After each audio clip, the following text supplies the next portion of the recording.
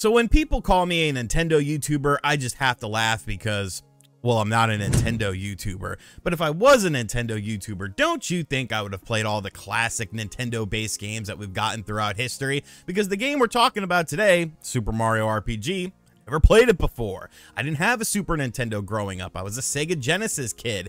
And when I eventually got into the Super Nintendo library as an adult, I of course played and beat games like A Legend of Zelda, Link to the Past, Super Metroid, among others, but I never played Super Mario RPG and I don't really know why. Obviously, this was a groundbreaking RPG experience between Nintendo and Squaresoft at the time that really took Mario sort of out of his comfort zone. Up until that point, you had your 2D platformers, you had some educational games, but Mario never really got outside of that in order to really showcase a personality and give characters within the Super Mario universe a personality as well.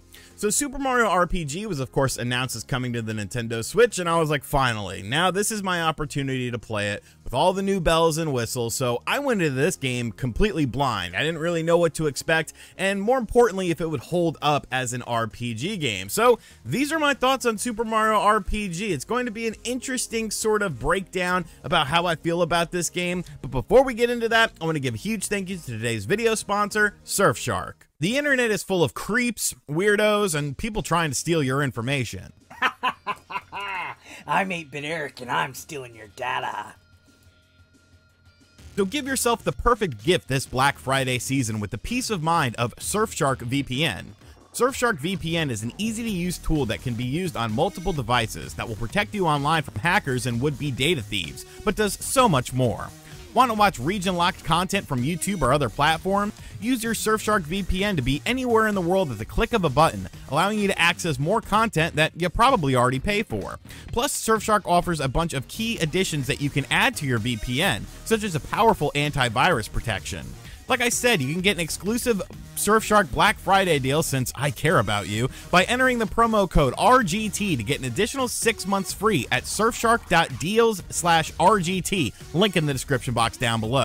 And with a 30 day money back guarantee, there's absolutely no risk to you. So check out the link in the description box down below. Use the coupon code RGT to get six free months. And a huge thank you to Surfshark for sponsoring today's video. So Super Mario RPG is an RPG game, which means that there's a story. Now, of course, Mario RPGs have come along since then, and we've gotten sort of like the Mario and Luigi style of stuff. We've gotten the more turn-based, sort of strategic style stuff with Mario and Rabbids, but this was kind of the game that kicked it all off. And upon first inspection, it seems like a typical Princess Peach is kidnapped by Bowser situation, but you quickly learn there's a whole lot more to the game than that. Essentially, there's a new enemy called Smithy. He's destroyed the Star Road with a hammer, and you have to pick up the various star shards in order to finally get to Smithy and beat him, thus restoring order into the Super Mario universe that this is taking place in. The story itself is fine. I actually kind of like the way everything is distributed. You learn about new characters who are, of course, now, you know, fan favorites, characters like Geno and stuff like that, who was first introduced into this game. So I had like no idea who this dude was or how he came to be. So learning kind of about Geno, I thought was a very interesting thing for me because of course, you know, he's a popular sort of thing. Oh, Geno for Smash, Geno for Smash. But now I know why people like this character. I'll say the writing of the game is pretty well done. I know some people, when talking about this game, didn't really care for the jokes, but most of them, you know, they kind of hit with me. Like, I chuckled at a few things within the game. I thought it doesn't take itself too seriously, which is good for this style of RPG. So overall, I, I enjoyed the story. It wasn't like super in-depth, crazy, or anything like that, but there were some interesting plot twists along the way. The characters that you meet really are able to show personality, which at that time was really the first time a lot of these Mario based characters had that sort of opportunity. Now, gameplay wise, it is a turn based RPG, but there are some different elements to the game that kind of keep things fresh throughout. Now, like we saw in later entries into Mario RPG games, it sort of has a bit of a real time battle system in which when you attack, if you press the attack button at a specific time, you can actually do more damage with your basic attack. This also works with special abilities. This also works with the defense as well. Like I said, a, a staple for a lot of these Mario RPGs RPGs, especially if you played like the Mario and Luigi stuff, but to see sort of where it got its groundwork, I thought was pretty cool with this game. Now, there's a bunch of different special attacks that you can do. You unlock special attacks as you level up throughout the game. All your characters have various special attacks as well. You have your basic item system where you have things that will replenish your HP, replenish your magic or flower points within the game. So it's all pretty traditional in that sort of sense, but there are some caveats and differentiating things that happen within the gameplay itself to keep things interesting throughout. You actually build up a gauge meter that whenever you do like a perfect attack with the timing or do a perfect defensive mechanic with the timing, you actually build up this gauge and when this gauge gets to 100 toad pops out and he allows you to get a special item in order to use within that battle. It's pretty fun. It keeps things interesting throughout. And eventually once you get three people into your party you could do like a special huge triple attack that just does like huge major damage and stuff like that. So overall you know i liked the the gameplay loop you know? There is some basic platforming that you do when you're exploring the different areas and that kind of translates into the structure of the game itself because the structure of the game it's not like a super open world sort of thing.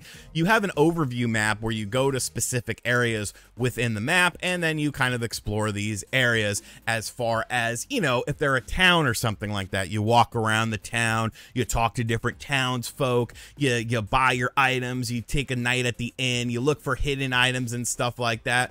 It's simple, but I appreciated it because some RPGs just go for like the standard sort of when you go into a town, you don't really explore it. It's just a series of menus telling you like what is within this town. So I like being able to explore things within this. So I thought that was pretty cool. Of course, there are deviations that you end up coming across as well. There's like a waterfall thing where you got to collect coins. There's also a um a weird music sort of thing where you got to know the notes do re mi fa sol la ti do. You know, it, it's kind of different, but like once again, it sort of breaks up the monotony of the standard gameplay loop, which is enjoyable, but it's something that, you know, adds a little bit of pizzazz to the game. Now, as far as the game's difficulty and length are concerned, it's definitely a bit of an easier experience and definitely a bit more streamlined. Although you can explore these areas really you're just trying to get to the next point in order to unlock the next area on the map and then go in there and explore that area.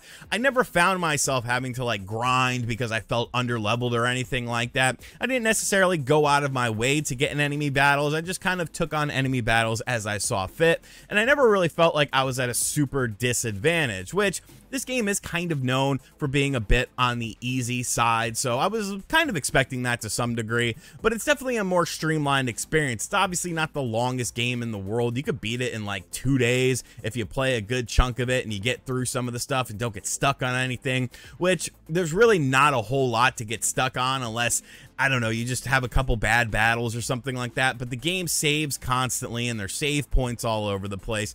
There's two different difficulties as well. I played it on the normal difficulty. There's actually an easier difficulty. So if for some reason you're struggling, there is that option. Presentation wise, though, this is where the game really shines for me because this game looks absolutely gorgeous. I love the visual style that they use with this game. Like it looks like a, a, a more sort of rich Mario platformer game. Like everything just has its own sort of feel to it. All the environments look really well done and very well detailed. All the character animations are very well done. You come across some different enemy types and stuff like that. Everything just looks great like it looks great. I play this a lot in OLED mode on well on handheld mode on the OLED screen, and it really really pops. Even comparing it to the PlayStation Portal screen, like I, I, thought this looked absolutely fantastic on that OLED screen. And the music is really done in a very well done style as well. It has that classic Geno song, but it's like remix music and stuff like that. This the the music is definitely very captivating for the set pieces that you come across, and I think the presentation in this game is just absolutely top notch. So, what are kind of the drawbacks about the game? I guess, you know, if you've played this game before, there's not a whole lot of new stuff to see. Like, it's pretty much a, a, a, faithful replication of the original game with a few different tweaks into it. And I believe somebody said that there's like an additional boss battle. I don't really know if that's the case because I don't really have anything to compare it to since I never played the original game. But it seems like there's not a whole lot of discovery for people that are, you know, diehards of this or have played this game recently or something like that. So that kind of holds it back for some people. Obviously, it's a bit on the easy side. It's not the most challenging game in the world, and it's not the longest game in the world. But I wanted to share this thought with you towards the end of the video because I feel like a vast majority of people have already, you know, they got my opinions on the game. They've probably already clicked off. But I'm going to make a bold claim here. As someone who went in blind to Super Mario RPG, if you had to ask me which game I preferred more, Super Mario RPG or Super Mario Brothers Wonder, I think I would pick Super Mario RPG. Now, obviously, that's because I'm RPG 85, the king of RPGs. But on a serious note, I don't know. I think this game is just like super charming. And it, it, feels kind of like a Mario game because of the the pseudo platforming segments that you come along. But it just has like so much more personality you know so much more of a story so much more of character personality that you don't get in a lot of 2D platforming games. I think Super Mario Brothers Wonder is great. Don't get me wrong. I thoroughly enjoyed my time with that game. But I feel like I'm enjoying my time a bit more with Super Mario RPG than I did with Super Mario Brothers Wonder. And that's just a me thing, probably. But as someone who's never played this game, it's like, damn, this game really holds up well. This is a a fan. If you've never played this game before, definitely buy it. Uh, definitely buy it. it. It is fantastic. It's one of the best Nintendo Switch games of the year, and one of my more positive experiences that I've had this year with a new game. Now, if you have played this game to death and you're you're well familiar with it, you might want to skip out on it or uh, wait for a price drop or something. Or if you just want to revisit the game for old time's sake, this is a great way to do it. But for me, this was a top-notch experience, dude. Like them, the Metacritic scores. You know how I feel about Metacritic, but I don't know. They're looking a little bit sus because I, I, I, don't know. Like I would I would say this game is is a little bit higher than an 83, but hey, you know, it's just all people's opinions at the end of the day. And in my opinion, this is a great game. So let me know in the comment section down below how are we feeling about Super Mario RPG for the Nintendo Switch. Are you a first-time player? Are you thinking about picking it up? Or have you already picked it up, beaten it twice, and thanks for watching the video, I guess, because, I mean, you didn't really have to do that. And as always, guys, thank you for checking out this video. If you are new to the channel, make sure you hit that subscribe button, like, comment, share the video around. A huge thank you to Surfshark VPN for sponsoring today's video. Seriously, guys, protect yourself out there. You don't want 8-Bit Eric hacking into your account and getting your information and looking at the weird stuff you look at online. Link in the description box down below. And as always, I'll catch you guys in the next video. Later.